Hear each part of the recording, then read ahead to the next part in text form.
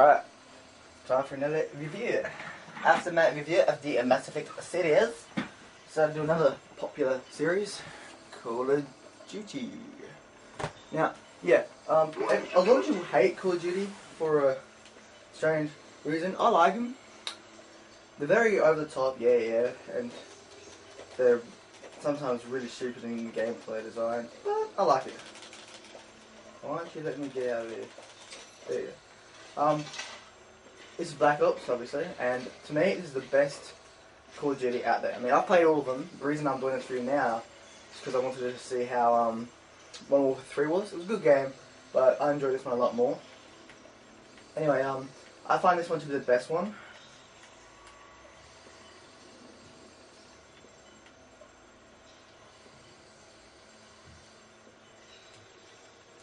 Do it recruit. But um, yeah, I'm just my favourite level from this game. Like, it was uh, this one was good because it was a thriller type story. The story is you're being interrogated with your past and what you know, and it's just one of those ones. It's really well done. Probably one of the best stories Call of Duty's ever done. No, it is the best story Call of Duty's ever done. Being Call of Duty 4. It's very fun. Yeah.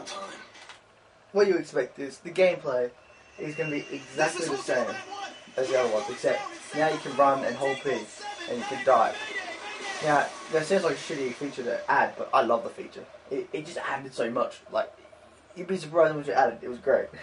And then Modern Warfare 3 got rid of it, and I thought that was shit. Um, but yeah, to me, it's just, I, I like Treyarch more than Infinity, well, it was more than Infinity Ward than it was Infinity Ward. But yeah, I like, I just like what Treyarch did. I need some help here! They always went, they always went for detail in a way.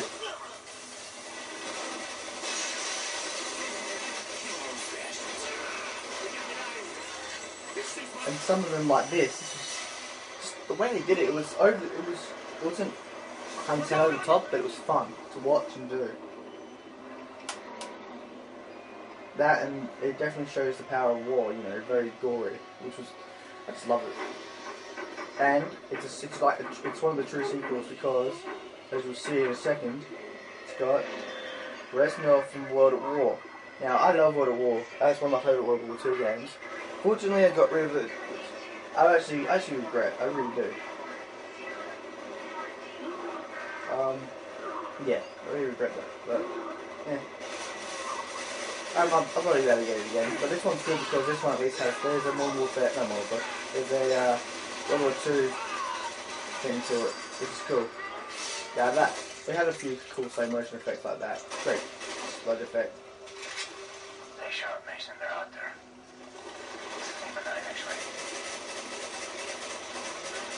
Good graphics too, like for a 60 frames per second game, I mean it's no rage, it is no rage, but it, it's a very good looking game for the time.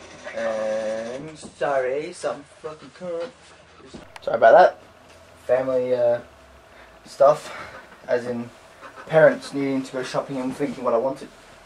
I wanted beef jerky. Beef jerky is the best. Anyway, going on. Uh, very, very fun game. Um, oh, it's one about the graphics, isn't it?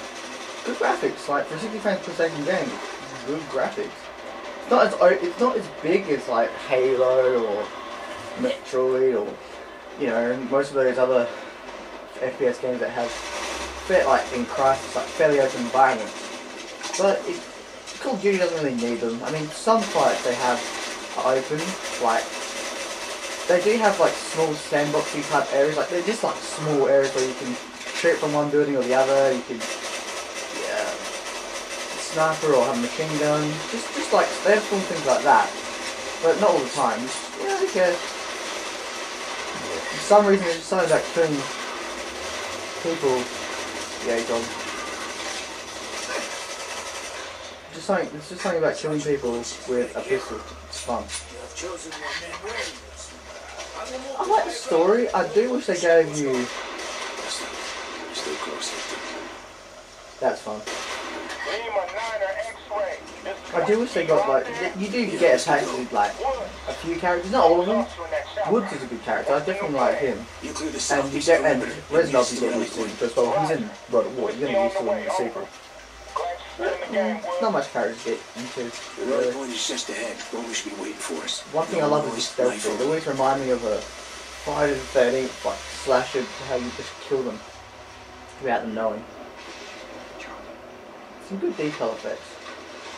Put roughly, Call of Duty and Black Ops, well, Call of Duty in general is like the Uncharted of FPS shooters. It's very linear at times. Um, there's some very smart at times. They're very, they're very smart ideas. Almost done.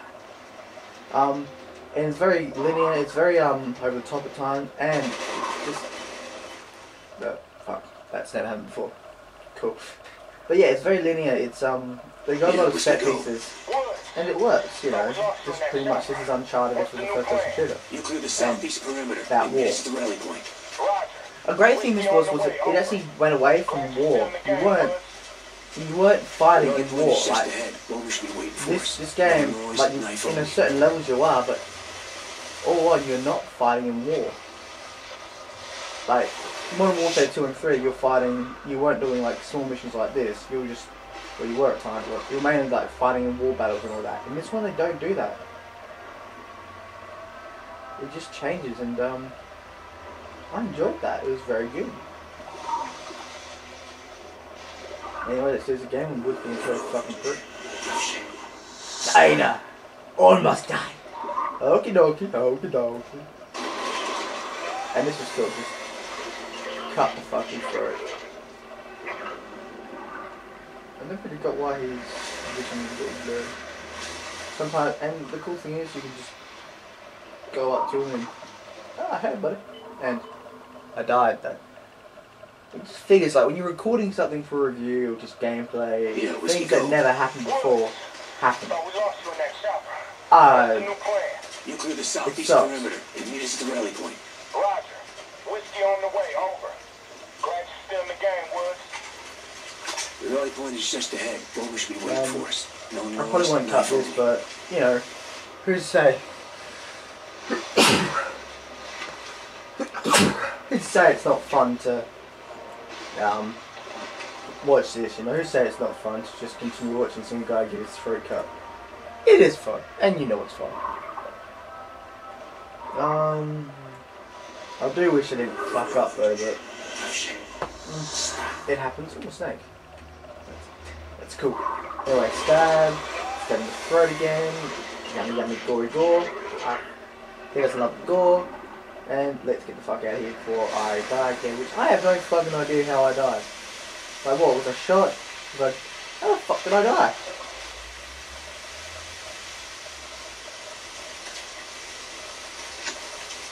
You can't go unless these guys go, which actually sucks. I think you done it though, and be like, John, but it's all gone. never gets old. Cut the head off. Mason, fill us. Somewhere near this village is a military outpost under the command of General Kravchenko. And uh, the voice of a great Australian actor, Have the CPU. Sam Worthington. With the siren. He, he does it well. Bring the He's, he's a fantastic actor. And he's Australian. Whiskey team. Which is. Cover the bridge in East River. Yeah. Mason with me on the west perimeter. Rendezvous point. The village in five minutes. You got it? Some good effects they have Whiskey team. On me. Hey boys. That's Ice T, that rapper nigga, because he's all like, I'm a nigga, and you're not, nigga. Yeah. Come on, fucking hurry up, I want to kill some people. Go fucking devil, go, go, go, fucking, go, yo, you fucking so fucking so good, fucking cut. Jump, jump, jump, jump. I think I, um, drowned before. I don't know.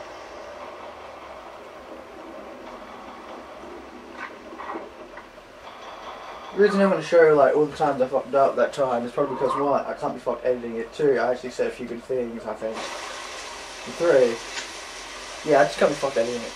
I will one day, but at this moment in time, I'm bored. I really just want to play games and review them, and I really can't be fucked just editing it like hours of it and then to like fuck. They want some good, they want some good detail. That's pretty cool to do.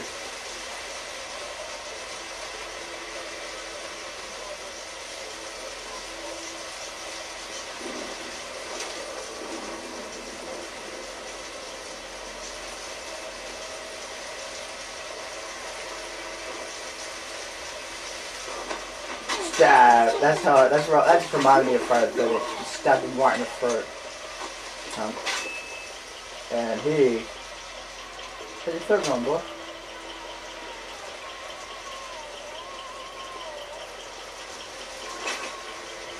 I don't think there is an execution for him, which sucks.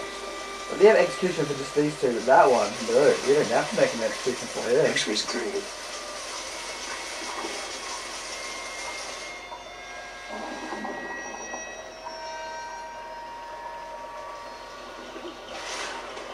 You get involved in the game when they they do first person cutscenes like that. That's pretty cool. And at times it's just like they give you a gun and you're just like fuck. Explosives are primed and ready. Sierra in position. Whiskey ready. Roger. X-ray inbound.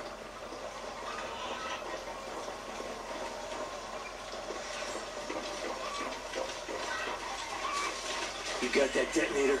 Right here.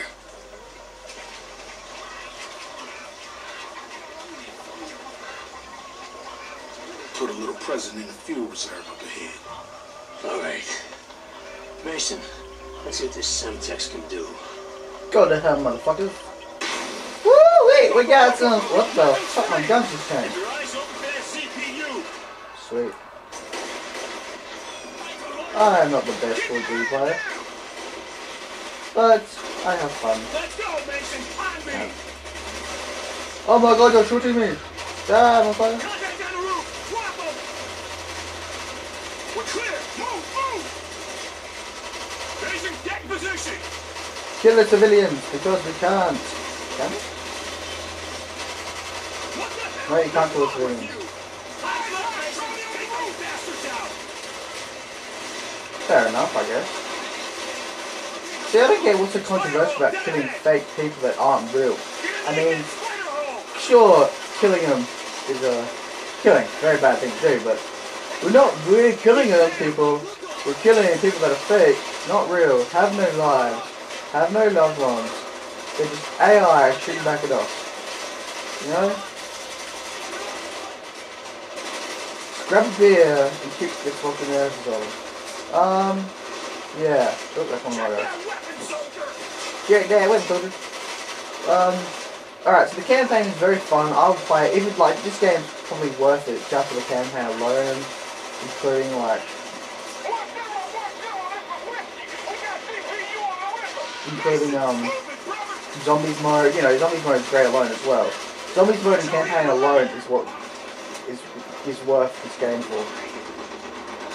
Uh, yeah, no, just go. Anyway, it's worth it. Um, multiplayer's fun. I have played a few of it. I, it's got bots too, which is great. Because you know, when you out of Xbox Live or don't want to go online, you play bot, and it is fun. And there's no real trash talking, really. And this game's actually a good buy. Like, it is. It's the best Call of Duty game. It's got probably the most out of it. It's just worth it, really.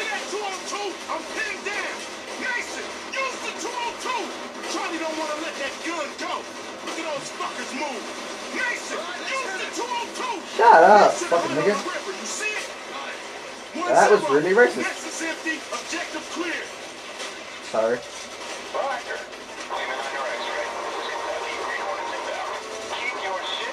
Yeah, this is cool.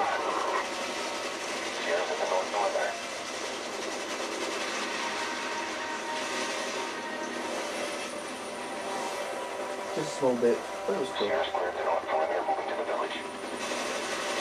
Flank. Target's on the roof. Got it. Someone drop a nade in the hole. Nice shot. And like the gameplay's simple, aim and shoot, but it's just something fun about it. I reckon if they add more reaction shots and just like made the feel a lot funner, like stronger, it'd work well. Now here's something that you can do, something about. You've got a rocket launcher and you shoot the turret, which I'm sure people would have done first time round. They get an achievement for it, you know, shoot the turret with the rocket launcher.